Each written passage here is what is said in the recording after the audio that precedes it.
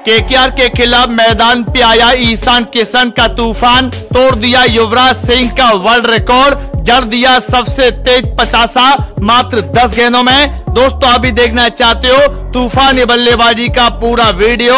इस वीडियो को एक लाइक करिए, चैनल को सब्सक्राइब करिए बेल आइकन दबाइए ऑल नोटिफिकेशन पे क्लिक करना बिल्कुल ना भूलें। दोस्तों आईपीएल 2023 का 22वां मुकाबला केकेआर और मुंबई के बीच में शुरू हुआ, जहाँ पर केकेआर की टीम ने पहले बल्लेबाजी करते हुए बनाए एक से पिचासी रन, छह विकेट के नुकसान पर, जिसमें वेंकटेश अय्यर ने इक्यावन गेंदों का सामना करते हुए 104 रन की विस्फोटक पारी खेल डाली। मगर दोस्तों, इनका शतक काम नहीं आया केकेआर की।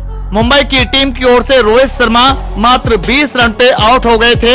ईशान किशन का साथ देने के लिए आ चुके थे सूर्य कुमार यादव, जिन्होंने 43 रन की विस्फोटक पारी खिलाड़ी पच्चीस 25 गेंदों में। मार दोस्तों, ईशान किशन ने कमाल कर दिया।